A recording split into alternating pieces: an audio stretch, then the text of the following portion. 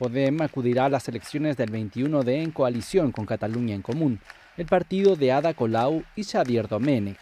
Así lo han decidido los 17.000 inscritos, un 60% del total, que han participado en la consulta impulsada por la Dirección Estatal de Podemos, según ha informado la Secretaría de Organización que dirige Pablo Echenique. De ellos, un 72%, 12.432 personas, se ha mostrado a favor de la coalición y un 28%, 4.876 personas, en contra. Un resultado que aplauden desde la dirección del partido. Irene Montero, portavoz de la formación morada en el Congreso. Creo que la militancia de Pudem puede estar orgullosa.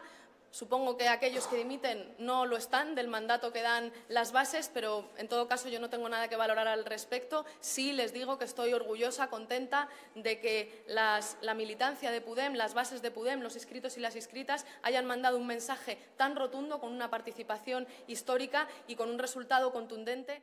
Acaba así una serie de desencuentros entre la dirección estatal y la fracción catalana del partido que desencadenó ayer la dimisión del secretario general Albano Dante Fachín y continuó hoy con la renuncia de ocho de los 25 miembros del Consejo Ciudadano de Podem Cataluña.